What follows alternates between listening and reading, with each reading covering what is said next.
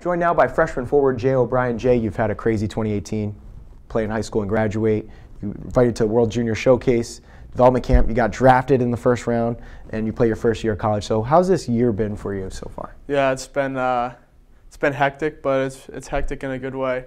Uh, I mean, whenever the chance you get to go to a, a, USA camp or a development camp, it's an honor to do that. And um, I think with both, and especially coming into college, and you just try to be a sponge uh, early, early and often. I think because um, you know we got older guys here and, and older guys at development camps, things like that. So you look up to them and try to pick up on little things and and you know now this next year I can try to step into more of a leadership role. So uh, it's been hectic, but like I said, it's been it's been very fun.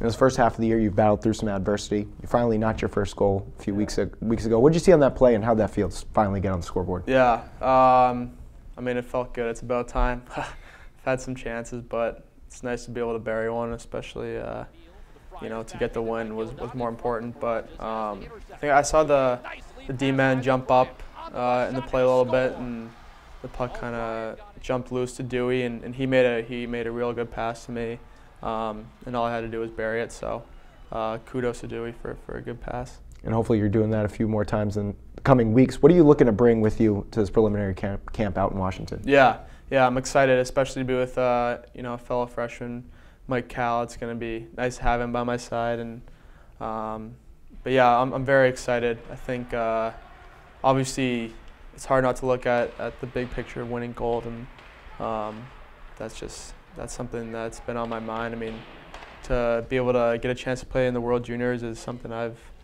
I've watched and um, dreamed of for a while. So to get the call to to be at camp and, and you know make more of a name for myself, something I'm going to try to do. Just play my game and have fun and just kind of be a, be a sponge, like I said earlier, and just enjoy every moment.